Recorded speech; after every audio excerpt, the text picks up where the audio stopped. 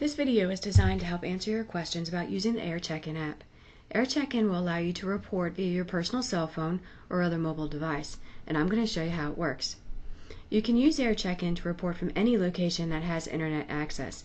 It saves you time and money, and you don't have to arrange for childcare or take off work.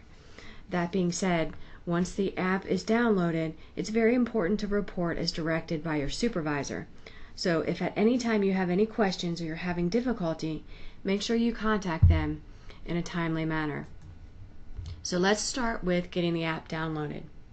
You've got to make sure that the Apple App Store is available on your device. That's from where you're going to get the app.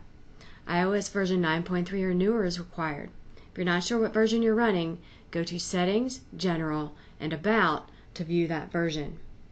Wireless connectivity is required, means you've got to have access to the internet. And then your supervisor is going to give you a username and password that you're going to use to log into the app.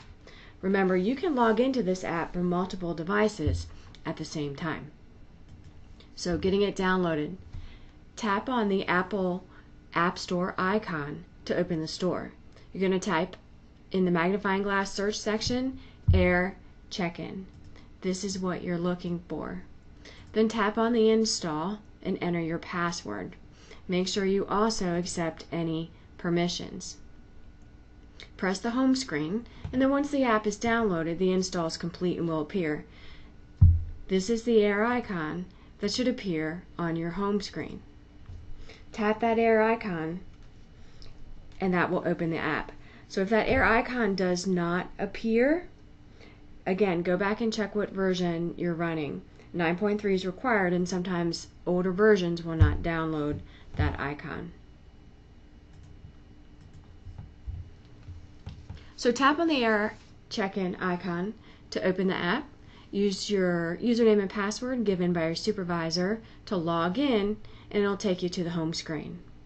Across the bottom you'll see a toolbar with access to home history, calendar, help, and more. So let's start with the home screen. The home screen is going to show you calendar items and check-in information. So a red item on the home screen is going to indicate that you have an unsubmitted check-in. It means you filled out the questionnaire properly, but for whatever reason, it couldn't get it uploaded to the server. So when you see this, take the device to an area where you've got good internet service, tap the red item to resubmit it, and you should be good to go. Pending check-ins are yellow.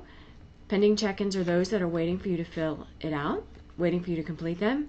And then ongoing or active calendar items are blue, and upcoming, meaning future, or historical, meaning past calendar items, are white. When you tap History on the toolbar, that's going to show you a list of your submitted check-ins with the most recent shown at the top. If it says the check-in has expired, the questionnaire can no longer be completed and submitted. Your supervisor gives you a time frame to complete the questionnaire, to complete that check-in, and when it says check-in expired, it means that time is over. So it may be a good idea to contact your supervisor and let them know why you missed a check-in so they can send you another one if necessary. When you tap on calendar, that's going to display your upcoming, your future events. Again, most recent shown at the top. Calendar items are entered by your supervisor.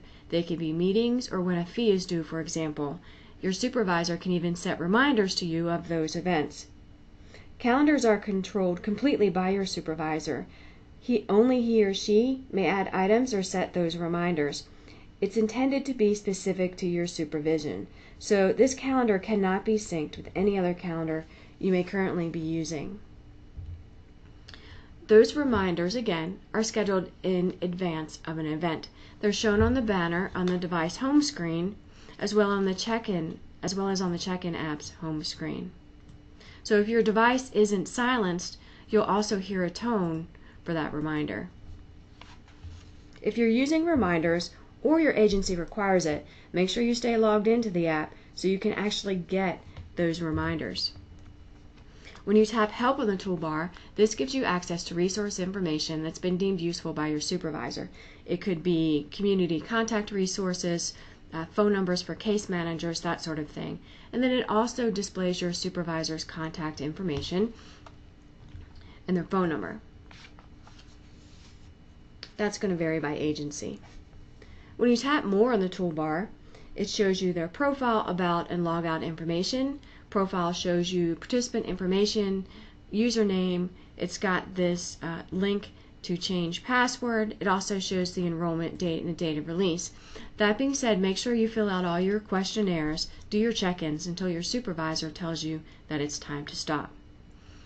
About shows you version information. That's common anytime you download an app. And then you've got the option to log out. Notice the reminder tells you that you need to make sure all check-ins are submitted prior to logging out if you want to log out. Check the home screen for that red item. So let's actually look at completing a check-in since that's what this app is all about. So from the home screen, all you have to do is tap on that yellow check-in reminder. Answer all the questions and tap submit. It's really that easy. So the app first is going to notify you if you have any unanswered questions. If you did that on purpose, tap submit anyway, or you can select cancel to return to the questionnaire and answer any question you might have forgotten by mistake. Now the app does require a verification. This means that your supervisor wants to know that you're the person who's actually filling out this questionnaire. So you'll have one of at least the following a PIN number required, signature photo, or fingerprint. And we'll talk about that in a little bit more detail on the next slide. Now, once you hit submit, Air Check-in is going to show you that that check-in has been complete. Notice the banner across the bottom. And if you'd like to, it's not a bad idea to go ahead and check in history, that it shows that that check-in has been submitted successfully. So the verification methods, as I mentioned, there are four. There's a PIN number similar to an ATM. Enter four digits and tap on submit. There's a signature. Just sign on the keypad. Again, tap submit. And then there's a photo.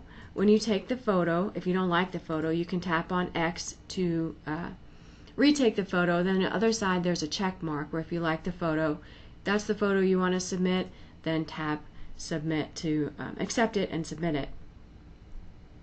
And then finally, there's a fingerprint version. Just place the finger you used to register your phone on the reader and follow the instructions.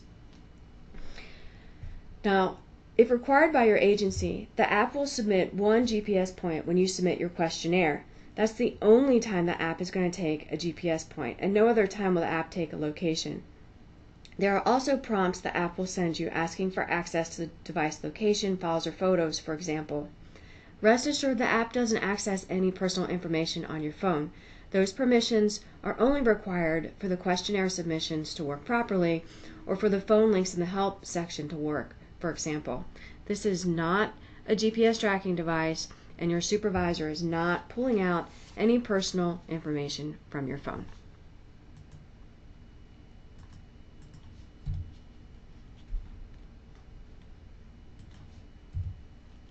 So in addition to a scheduled check-in, your supervisor may also send what we call an on-demand check-in, an unannounced check-in.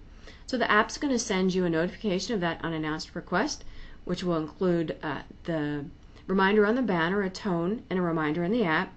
If you're doing something that you absolutely cannot stop, you can tap on no to pen that request, or you can tap on continue to go ahead and fill out that request.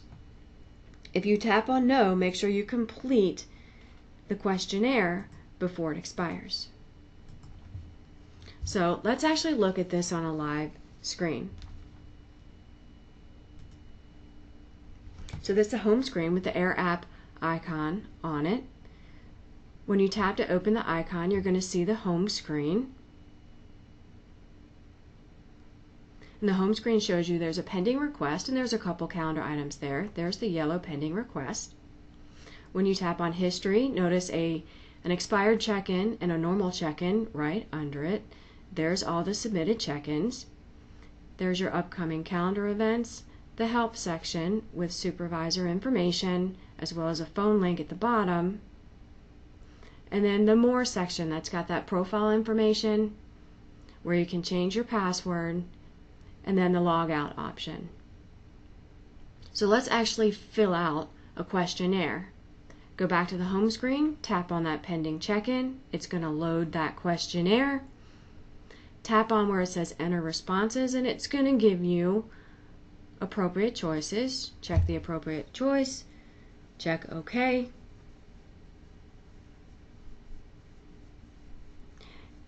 And then for questions that require a date or time, there's a date time picker where you can set the correct date and the correct time. Tap done, and then you're going to tap the submit button across the bottom. There's the verification method. It will vary by agency. This agency requires a PIN, so I'm going to select the PIN number. If I put the wrong number in by mistake, hit clear and re-enter that number. Once the PIN is correctly entered, tap submit. Now I've set up a fail situation here. Notice it's going to ask for permission. This is one of those permissions where you really need to accept it. I want this to fail because I want you to see a red check-in item. So as you notice, when I go back to the home screen, here's a red check-in item. So if you submit it and you get this, just go ahead and tap on that red item. It resubmitted it. It showed you on the bottom all of them have been sent in.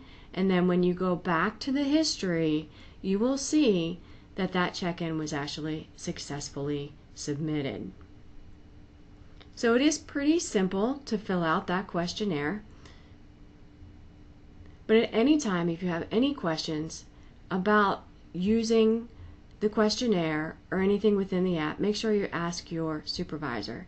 And if after viewing this video you're still not clear, please make sure to ask your supervisor any questions before you leave.